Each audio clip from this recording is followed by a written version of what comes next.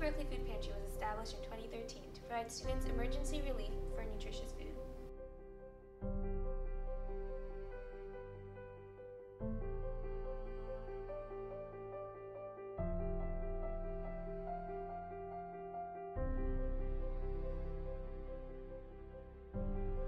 With their new pantry space, students can choose up to five items twice a month. This includes our frozen options and our produce bags. Today we have the best basic needs model to date.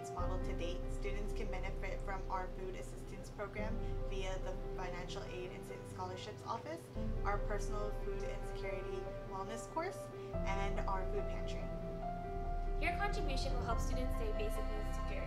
Together, we will end homelessness, hunger, and malnourishment. To donate, please go to give.berkeley.edu.